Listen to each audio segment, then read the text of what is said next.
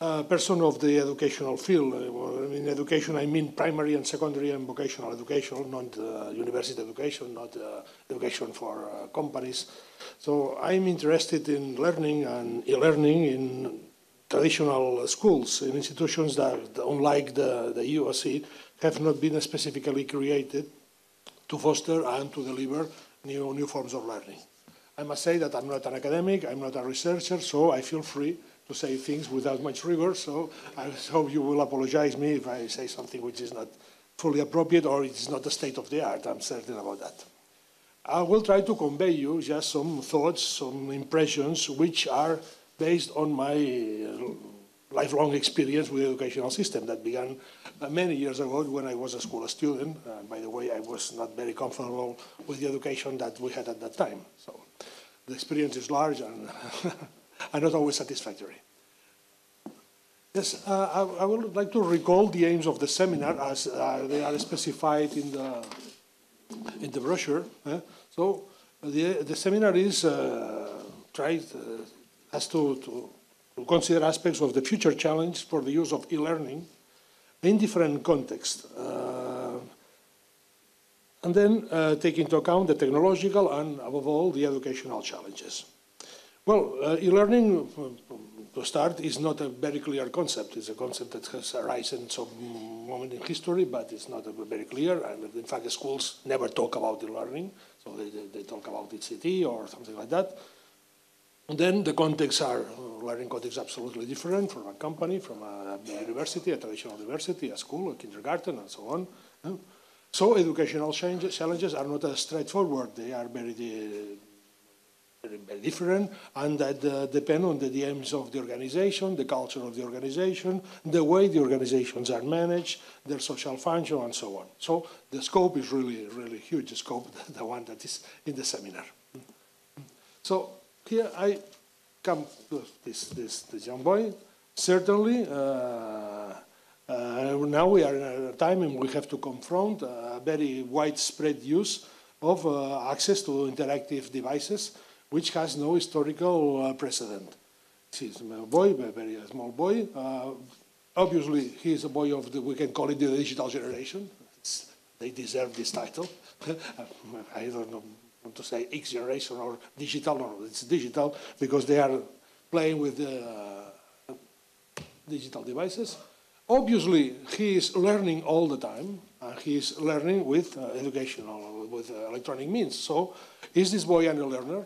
I think that we can say that truly this boy is an uh, e-learner because he's learning using electronic means and other means, but obviously this is uh, part of this, uh, his uh, ecological environment, the environment in which he is developing. So we have here the children, which are a little bit grown up. Huh? They are using mobile devices, which are absolutely everywhere. Uh, so there's these activities that uh, playing games, sending messages, uh, surfing the web, watching videos, creating uh, content, posting content, searching for information, exploring the world of information, simulated environments. All these falls under the, the level of uh, e, e-learning. In my opinion, yes, this is truly learning because it has to, to do with learning, the activities that can be for other purposes, but they bring types of learning. So I think that learning should be, at least for this uh, type of youngsters, in, uh, should include this, uh, the, the, concept of e learning should include this, the activities that they are doing. Now, uh, this, uh, this, uh, this teenager, this, this girl is probably more comfortable using technology than many adults, than many teachers that talk about e-learning. so he is very natural user of that. Maybe she's listening to music, maybe she's listening to a podcast, so um, I think that you can truly say that she is a learner. So I think we have to revamp the concept of e learning, eh? or maybe to, to drop out the, the E letter because it is simply learning. So here we have a, a, a, a point I wanted to raise.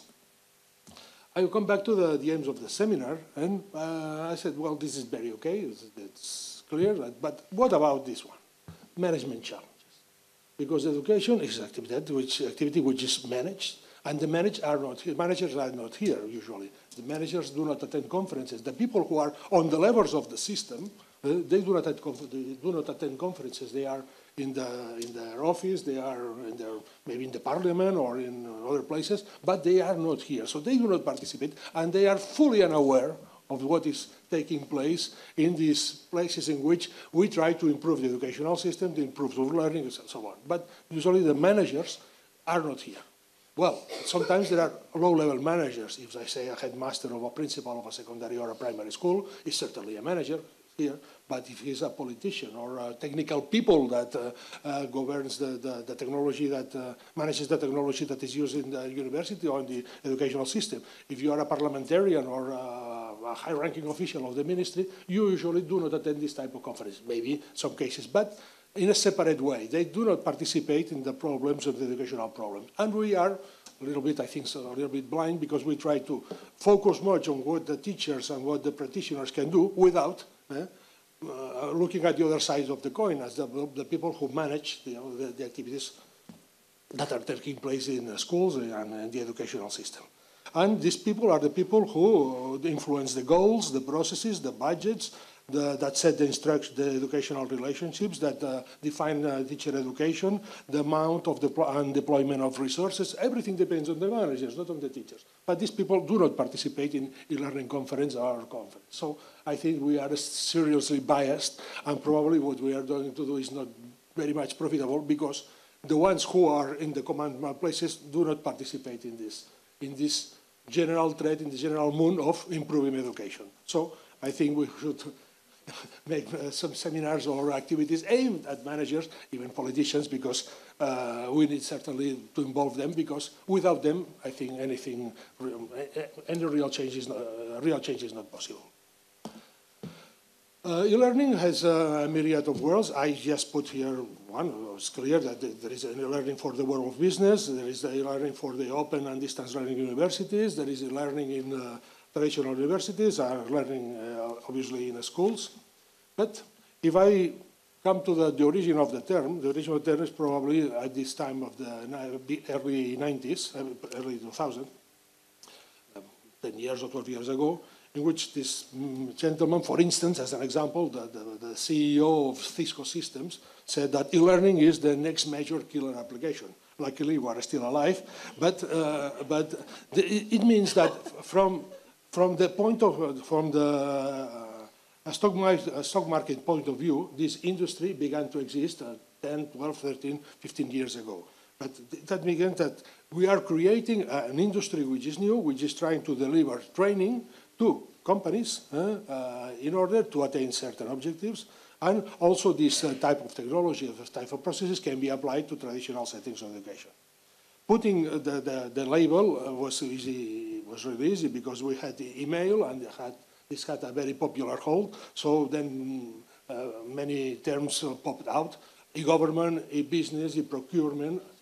And what does this mean? That there are two things of doing things. You can do government or you can do it e-government. You can do business or doing e-business. You can do learning or e-learning. It's such a, dichotomy, a separation, which I think is now has no, no sense. But at that time, it appeared that you could uh, have a an activity that's uh, e-commerce, and consider that e-commerce was something like separate of the normal commerce. Certainly because it used technology, but nevertheless, we know that it's commerce. So my point, my point is here that learning is doomed to, to disappear as a concept, and uh, we will talk uh, sometime in the future of learning, unless we use this in order to label a specific industry which is based on uh, certain activities uh, with, uh, that works with certain aims. For instance, delivering just-in-time knowledge uh, and training at the desktop, facilitating the adaptation to changing educational environment, to changing environments, and updating the, the workforce skills.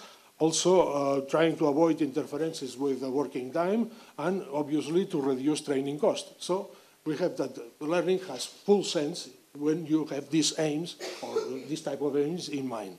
So here we have a very top-down uh, industry uh, which has to uh, has been developed in order to, to satisfy certain needs. I don't know if these needs can match exactly what the needs we have in education, because the top-down industry, uh, insist that it can work very beautifully, very perfectly. It's only for a certain uh, type of, the, of objectives. Obviously, the industry exists with material elements. I'm not going to, to, to, to talk about them, but certainly there is content, textbook publishers, corporate uh, training providers, educational software, content providers. We have an industry of software itself, platforms, uh, virtual learning environments. Then there is an economic model, users, uh, pay per course, pay per uh, user, uh, free courses, etc. There are many, many possibilities. We have a, a large uh, issue of the, the, rights, the rights of the faculties, the rights of the, the companies. I don't enter this. Uh, privacy, security, and ways of delivering and using support. So here we have the components of an industry, which is an industry very reasonable in itself, and it has to work in order to attain certain means. But I'm not absolutely certain if this industry is the industry that can serve education as well. I don't know. Because when arriving in, uh, to learning in schools, uh, I, obviously there are institutions, schools are institutions that were not designed for e-learning, but they are undergoing, like the, the, uh, the rest of the society, a process of uh, going digital. But the clients of the schools are young people. A young people, the young learners which are in the school, first, they have limited capabilities of the independent study and of setting long-term goals. You could think that university students uh, or people who are retraining, uh, their 30s and their 40s and so on, they have these uh, strong capabilities of independent study. But this is not true for uh, a 10-year-old, for instance, or a 15-year-old. Even higher school students do not have the maturity characteristics that can be expected from a, uh, of a university student. So uh, here we have uh, an important difference. Then uh, another one is that the, the, the, the youngsters learn obviously using technology, but also interacting with classmates, with teachers, and other people. And these young learners need to be continuously stimulated, monitored, and supported by physically present teachers, which is one of the functions of the schooling. So I think that schooling is going to, to, to resist a long time because the need of ha having teachers there physically present in order to stimulate, to support, uh, to, to give advice and so on is absolutely uh, necessary. And this is very difficult to, to, to deliver this uh, in electronic, electronic systems. So uh, obviously, uh, children are not in the business of in just uh, just-in-time learning for retraining and skilling. This is another area. So schools have a, a, very specific set of characteristics that uh, have to be taken into account if we try to to foster uh, learning using learning means uh, in order to attain the general educational goals.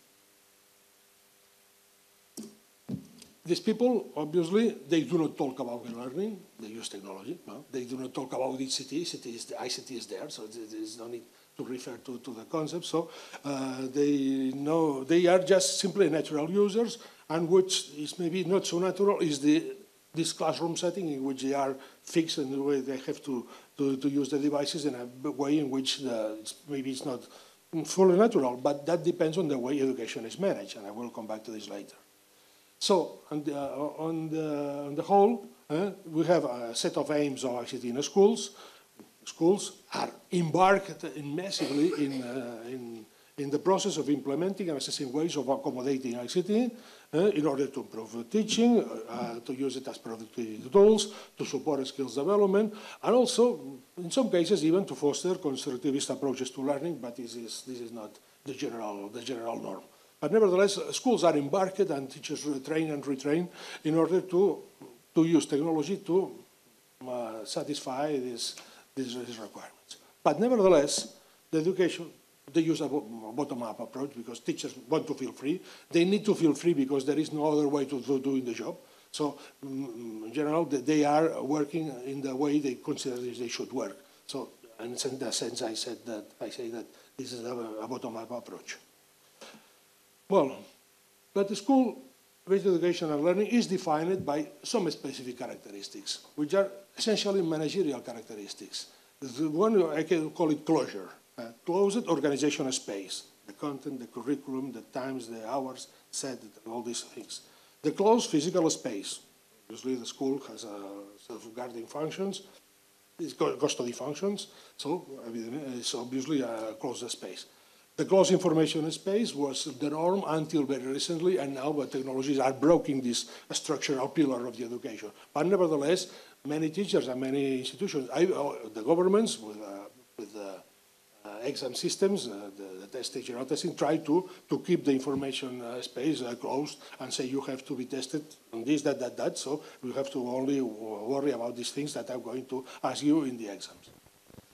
Then uh, there is a standardization as the norm, as the one size fits all. This has been the norm of the educational system. So uh, this is not defined by teachers, it's defined by the way the system is, uh, is managed.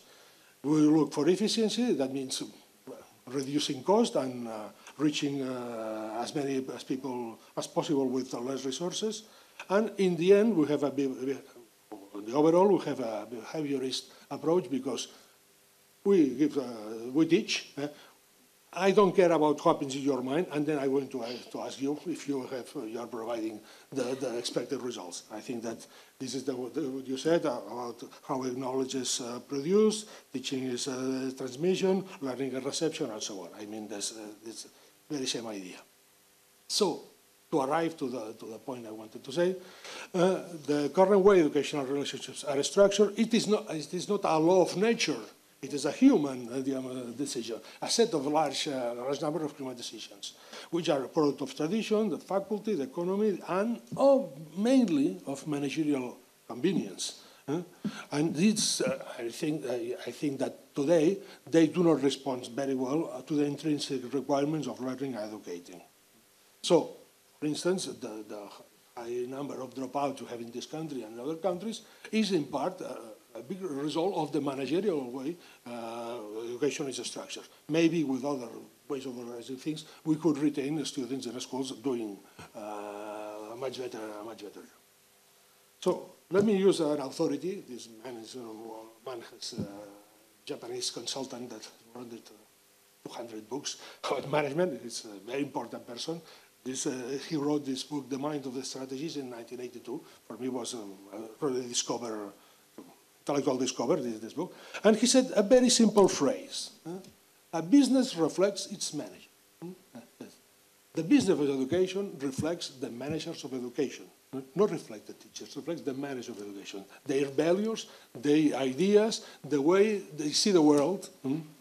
and teachers are just instruments of delivering this, their views. I think that uh, the concepts, the methods, the, the, values of the people who organize the systems, the, the, the, the way the, they allocate resources are what define uh, schooling today. Not the willingness of teachers, not the preparation or training of teachers. Obviously, this is, has an influence. But nevertheless, uh, the, the, the, idea is that things are decided at another level. At this level uh, is the, the one who implies that teachers and learners have to perform uh, in some specific ways. Hmm?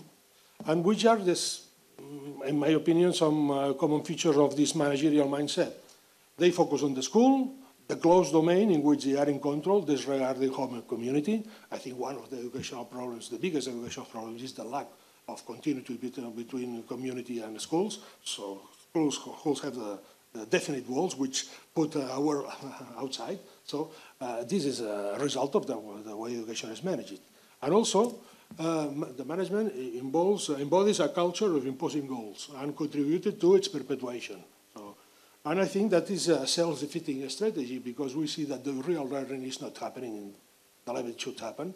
So uh, the, the idea of imposing continuously goals to students is uh, giving, uh, in general terms, uh, very bad uh, results. Some more features of this managerial mindset, uh, mindset, they think within the limits of the current evaluation and supervision and control systems. So there is very scarce uh, out-of-the-box thinking. Managers, the way that, that that's uh, being prescribed. Uh, and they are very comfortable with this because they have clear ideas of how to uh, give account of their, their own activity. Uh, because of the thing is very straightforward, it's very um, between um, closed uh, boundaries, for them is quite managed because giving certain numbers or certain indicator and the quantitative data is the way that they ensure that their work is of, of quality. Managers are much more focused on doing things better than on doing better things. And when I say doing better things, I see things that could deliver uh, more valuable outcomes. This is so. We are trying to improve inside the, the, the, box uh, the current thinking, not doing other things, because the system, as it is managed, doesn't allow for to do that. I'm not going to make this examination. Oh, this is not possible. You have to examine your students in that way at that time. So the way it is prescribed. You cannot do other things. And finally, the managers feel accountable to the top and to the media. Let's say this way. They do not feel accountable to the people that are, the people that are under uh, their jurisdiction. So this is a real uh, problem because uh, they have to produce figures saying that the management of the system is as good as possible according to this uh, uh external criteria, not internal criteria. Now, at this point, I would like to, to introduce this lady, which uh, was a Harvard professor the business school, and she, for me, is a, one of his book, her books is a bedside book that I have on the table. It's uh, a six or seven minute video. I think I have time to, to, uh, to, to, show you. Please, when you hear uh, this lady, when she talks about uh, wealth creation, think learning. Hmm? Hmm? The issue in my mind is that it, we're not talking about a, a single flaw or a series of flaws. When we talk about management today, we're talking about a system that was designed 100 years ago for a specific purpose in mind, and that was um, the low cost, therefore the efficient and the standardized production of goods that would be affordable for a new world of mass consumers. And that's, we created management system to be able to oversee the complexity and the coordination demands of this kind of system. So here we are, a hundred years later. And the system still works very, very well for producing low-cost goods for mass consumers. The problem is that society has moved on. And people today, largely because of the success of this system in the 20th century, people today no longer experience themselves as anonymous mass consumers. They're no longer content to be uh, the, the, the other side of an adversarial anonymous transaction. People today have become more complex, more educated, more informed, more traveled, more experienced, and so their needs have shifted. So when we talk about people either in, in their role as the purchasers of goods and services, consumers, or in their role as workers, employees, we're talking about people who are fundamentally different from those of 100 years ago. And yet it was 100 years ago that the model was built. So the, the problem, rather than a, a design flaw, the problem is a, syst a system that has grown out of touch with the society around it, the people that it should be serving, the people who must depend upon it for employment and for consumption. Because obviously in a modern society, we don't, most of us don't grow our own food or make our own clothes. We have to be consumers and we depend on these institutions for all the things that most intimately affect our lives and our ability to take care of our families, you know, for our health, for education, for housing, for, for finance, as well as for all the kinds of goods that, that we need on a daily basis so how do, how do we address this problem? How does this problem evolve? Uh, historically, what has happened is that um, capitalism, because the system that we're talking about in the 20th century began with mass production, but ultimately became the, the foundation for a whole century of capitalism that came to be known as managerial capitalism because we created the management system to, to coordinate the complexity of this kind of new undertaking. So man, man, managerial capitalism is only one chapter in the history of capitalism. Before that, there was proprietary capitalism, and before that, there was mercantile capitalism. And these chapters of capitalism shift and evolve with changing populations and with changing technological capabilities. Yeah? And so as they shift and evolve, they emerge with new logics, new business models, new commercial frameworks. So how are we going to get from where we are to where we need to be? Right now we have lots of people, both in their roles as consumers and as employees, whose needs for control over their lives, to live life the way they want to live it, uh, to, to have choice in the way they conduct their lives, to have voice, to be connected, uh, to feel, uh, to have support, to, to get through the complexity of modern life. These needs on the part of individuals are largely going not only unfulfilled, but unnoticed. They don't get on the radar screen. So the, the, the big challenge for us now as business people is how do we realign our commercial operations with these new needs? And it's very hard to do that from inside the old model because the old model was created to keep consumers out. Those are extrinsic factors that we keep on the outside so they don't mess up our ability to be efficient and standardized and so on. So it's very difficult from within the current management system to reach out and realign with the needs of these new populations. However, when you see companies, entities that are actually doing it, you see enormous growth and success, an enormous release of economic value. Look at a few examples. iPod and iTunes. We have a traditional music industry that says, no, we keep music inside our industry and you're only allowed to get it the way we want you to get it. You have to come to a record shop, you have to buy a CD, right? And then we have people over here saying, no, no, no, we want music the way we want it. We don't want to buy your CD. We want individual tunes. We want to compile our own CDs. We want to trade it. We want to get it from friends. We want to get it directly. And the two are at war. And then along comes the team at Apple, and between iPod, a device, but iTunes, a new configuration of assets, right? We take music from inside the old model, we migrated it over to the listeners, the people who really want it, and we reunite those. So now we've taken those assets and we've realigned them with their real end users.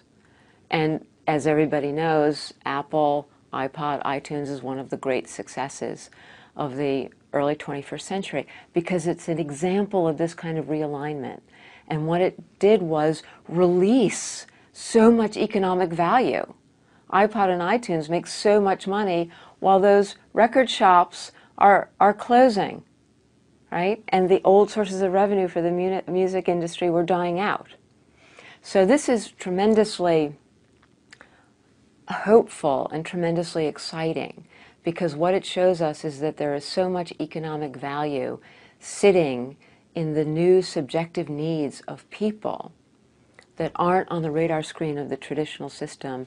And when we hone in on those and figure out how to reconfigure to meet those needs, masses of wealth are created. And to me, that's one of the exciting challenges of the next century. Maybe it's a little bit long, but I think that it settles the, the, scenario, sets a, sets a scenario for the, the problem of management we are having today, which is, is not a particularly uh, an educational problem. It's a problem that uh, it uh, affects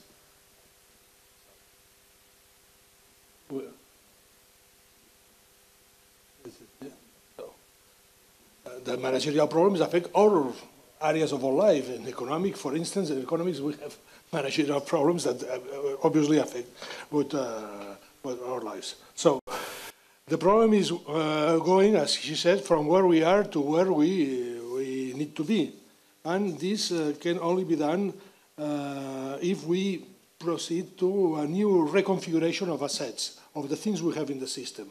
And the learning in, in the end, or learning with technological means, should be the way to reconfigure educational assets, to deliver it in other ways, uh, and very much more flexible, much more oriented to the specific needs of the people. So This is the, the, in summary, this is his message. Now we need a new logic based on the, the individual. And besides the, the, the, the learning as an industry, which works well for certain areas, in general for the population and for the schools and universities, we need a new logic, and this new logic has to be defined by the, in a substantial part, by the by new concepts and by the use of techno- technology.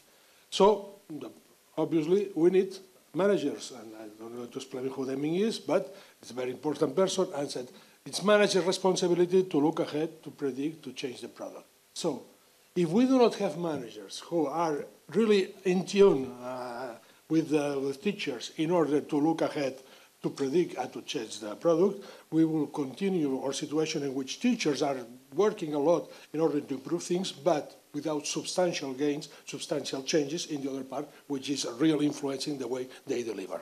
This is my message. Thank you.